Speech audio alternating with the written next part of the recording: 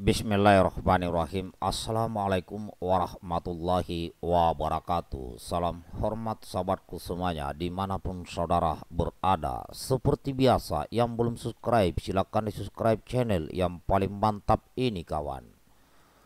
Baik ini saya akan menyampaikan informasi di hadapan saudaraku semua Terkait masalah Sentul City ya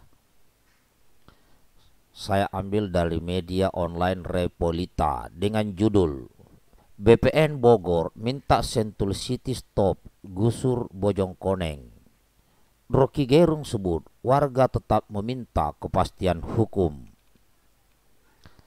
BPN Bogor baru-baru ini meminta Sentul City untuk stop menggusur kampung Bojongkoneng, Bogor, Jawa Barat Akademisi Rocky Gerung mengatakan bahwa bulldozer yang dikerahkan Sentul City di Bojongkonen tidak lagi mengancam warga, meski mereka tetap meminta kepastian hukum. Dalam seminggu ini, bulldozer itu tak lagi mengancam warga, apalagi rumah saya atau bahkan kebun saya. Tapi warga tetap meminta semacam kepastian hukum. Namun saya menganggap bahwa komentar-komentar dari BPN Kabupaten segala macam itu didengar oleh Sentul City. Kata Rocky Gerung, sebagaimana dikutip kabar Besuki dari kanal YouTube Rocky Gerung Official pada Sabtu 2 Oktober 2021. Rocky Gerung mengatakan Sentul City harus mengevaluasi penampilan publiknya jika tidak ingin sahamnya terus menerus tergerus. Menurutnya, Sentul City akan dicatat sebagai perusahaan yang peduli terhadap hak asasi manusia dan etika lingkungan jika mau merubah penampilan publiknya. Sentul City kalau mau jadi perusahaan yang bonafit dan akan dicatat sebagai perusahaan yang paham human rights, paham tentang environmental ethics, maka dia mesti evaluasi penampilan publiknya itu supaya sahamnya tidak terus tergerus, ujarnya. Rocky Gerung menyarankan agar Sentul City segera membuat kerangka MIU dengan jaminan tak ada penggusuran di Bojongkoneng. Dia mengira bahwa saat ini Sentul City sedang berupaya untuk menuju ke arah tersebut dan segera merilis pernyataan resmi dalam waktu dekat. Jadi sangat bagus kalau Sentul City membuat semacam kerangka Memorandum of Understanding atau MOU bahwa ada jaminan kampung di bawah ini tidak akan digusur. Saya kira Sentul City sedang berpikir itu. Dan saya bisa duga dengan kuat bahwa dalam seminggu ini ada rilis dari Sentul City bahwa itu tidak akan digusur, katanya.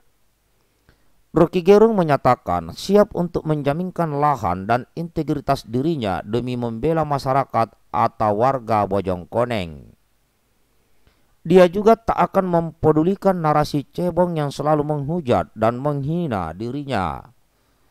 Saya selalu mengatakan, saya menjaminkan lahan saya dan integritas saya untuk membela masyarakat, bukan untuk saya.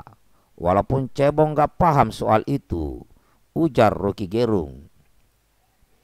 Rocky Gerung bahkan mempersilahkan bagi kaum cebong yang terus mendoakan agar warga Bojongkoneng segera digusur.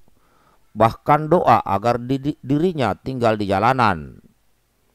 Meski demikian, Rocky Gerung yakin bahwa doa kaum cebong tak akan dikabulkan dan hanya berhenti di gorong-gorong.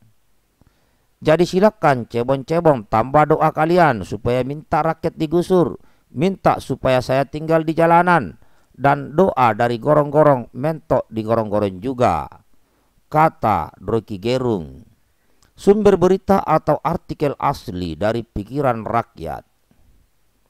Nah, demikian saudaraku informasi terkait yang masalah di Sentul City ya. Berarti ini ada perkembangannya karena pemerintah sudah turun tangan yaitu dia melalui Badan Pertanahan Nasional ya Kabupaten Bogor. Ya semoga ini ada jalan keluarnya yang terbaik dan Sorry minum dulu kawan, sabar.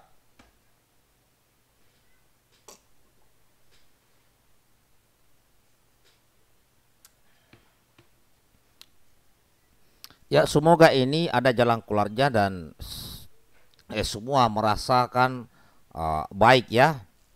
Jadi dari Sentul City juga yang mungkin akhir-akhir ini terus tergerus uh, sahamnya bisa segera normal kembali setelah ini selesai. Karena kita lihat sendiri permasalahan Sentul City ini semua ya di saat mulai mencuat semua mengalami uh, kerugian ya baik itu kerugian perasaan, per, uh, kerugian finansial dan sebagainya. Kedua belah pihak semua mengalami kerugian. Nah, mudah-mudahan setelah uh, diselesaikan ini dengan baik, ya maka keduanya, kedua pihak bisa kembali normal. Nah, kita doakan aja seperti itu. Ya, karena ini menyangkut masalah eh, hajat ya, hajat hidup orang banyak ya di Bojongkoneng ya ya mudah-mudahan lah eh, niat baik daripada Sentul City ya yang difasilitasi oleh pemerintah lewat BPN menemukan jalan yang terbaik sehingga kedua-duanya tidak uh, mengalami kerugian dan bahkan kita uh, berharap eh, sebaliknya yaitu semua mengalami suatu keuntungan. Ya kita doakanlah semua kawannya dan Silakan berikan tanggapan dan masukannya kawan terkait info yang saya sampaikan ini. Namun di sini saya tetap berpesan, tolong pada saat menyampaikan suatu kritikan, saran atau masukan atau pesan apa pun bentuknya, tolong hindari saudaraku untuk menghujat, menghina, mencaci, memaki, eh, merendah, merendahkan, meremehkan, hindari kawan ya. Nah, kenapa? Kalau itu terus eh, ada cacian ya uh, hujatan yang terus menerus ditelontorkan maka semakin uh, rusak hati kita ya gelombang uh, negatif pada diri kita terus meningkat akhirnya gelombang-gelombang uh, positif terkikis habis. Ya silakan yang belum like silakan like dan tolong bantu bagikan video ini kawan agar semakin banyak yang tahu bahwa di channel ini selalu uh, menyajikan informasi-informasi update yang terjadi di negara kita. Ya, itu kawan ya. Sekali lagi tidak henti-hentinya saya sampaikan tolong pada saat menyampaikan kritikan tolong ya hindari kata-kata hujatan, cacian, makian, ya apa pun itu yang bersifat negatif. Hindari semua itu kawan ya. Oke, ini saja kawan yang bisa saya sampaikan. Ya tetap semangat. Jaga persatuan Indonesia, NKRI harga mati. Bineka Tunggal Ika. Pancasila ideologi negara kita. Merah putih warna bendera kebangsaan kita. Mari kita pekikkan kembali semangat Bung Tomo arek-arek Surabaya. Merdeka. Allahu Akbar. Assalamualaikum warahmatullahi wabarakatuh. Salam sejahtera buat kita semuanya. Salam hormat, salam santun, dan salam persaudaraan.